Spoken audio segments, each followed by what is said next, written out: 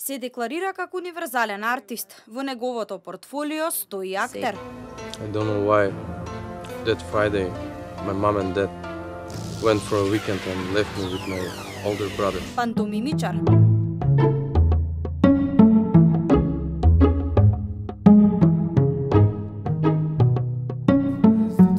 И член на бендот Марлон Брандо. Патувам далеку Да видам насмевки и светулки во круг Сите овие работи се собрани во Кирил Трајковски или познат како Максим, прекар кој го доби по истоимениот филм. Поводот за да се дружиме денес со него не беше ниту една од овие погоре наведени професии, туку името кое го носи на еден од македонските просветители, чиј ден денес го празнуваме ќе славили Кирил имен ден? Па искрен да бидам порано многу повеќе славевме и бидејќи дедо ми, јас сум на него крстен. Тој се вика Кирил и Трајковски се презива како мене. И го зезам сега на приказните кои ќе ми го испишат името, му викам, е, дедове, викам, гледајте, пише на приказките. А, значи, славевме, порано се собиравме фамилиарно, како што старај човек, веќе тоа му е спонтан празник, како да кажам. Си доаѓа и си оди.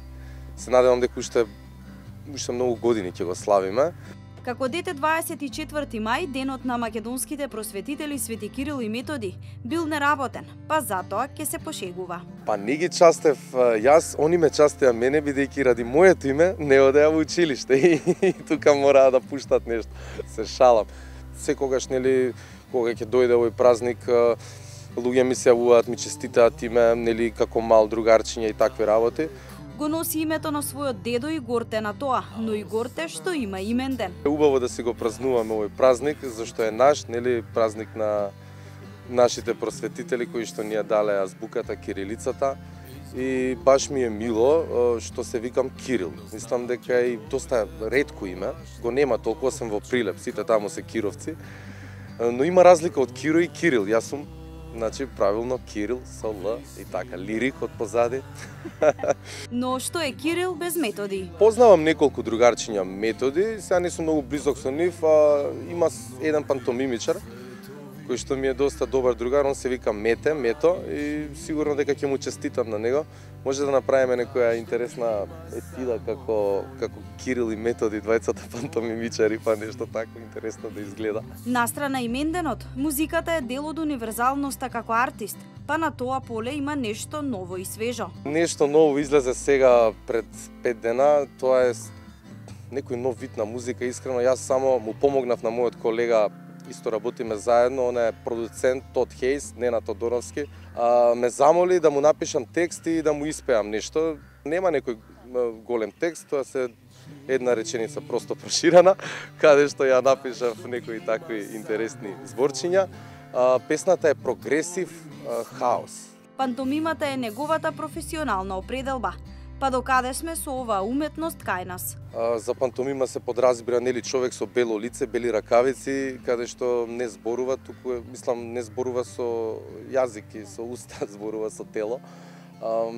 Мислам дека на на добро на добар пат е пантомимата во Македонија бидејќи неколку луѓе што завршивме пантомима, Воје Цветановски, јас, Кире Ѓоревски и уште неколку од страна што се бават не професионално аматерски, но добро го прават, тоа е те мете што го спомнавме.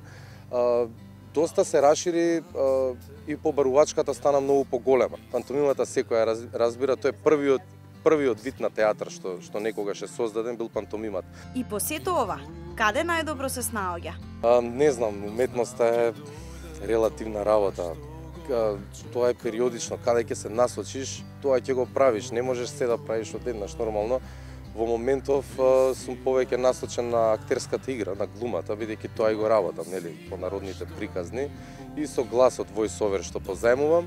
А како издувен вентил, секогаш ми е музиката тука, да напишам некој текст, да направам некоја песна, ако има некоја свирка, окей, ако не да сме здрави и живи, Најважно е дека денес универзалниот артист Кирил Трајковски Максим слави имен ден, а и сигурни сме во тоа дека Марлон Брандо ќе биде присутен на истиот, не во физичка појава, туку музичка. добри мисли и емоции